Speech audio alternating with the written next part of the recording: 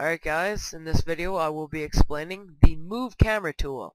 Now as we learned in the last episode, WASDs will pilot around the camera. Now with this tool, using right click and drag will easily move your camera to the way you move your cursor.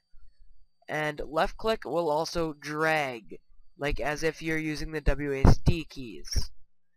So very simply you can pilot around this piece of grass or move around it.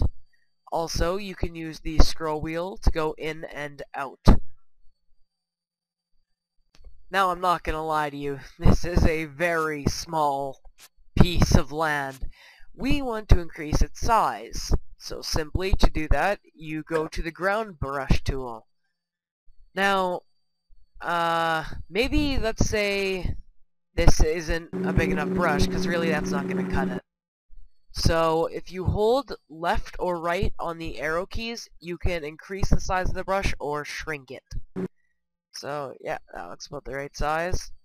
Um, but let's say, again, I don't want grass, so if you hit the little four boxes here, you can change what type of terrain you are going to use for your terrain creating. So let's say we want something like, I don't know, something basic here. Let's say we just want this other kind of cartoony grass.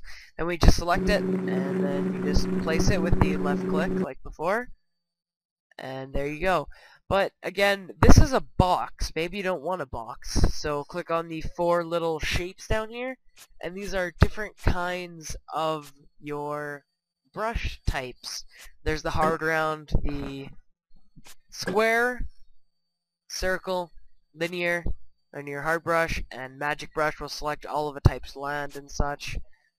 Uh, they all do different things. This one is a click and drag circular. Uh, I don't really prefer it all that much unless you're making a flat line of terrain.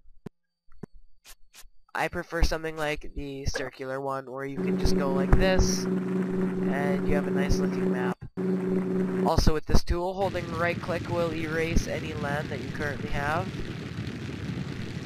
Thank you for watching this episode. There are more to come.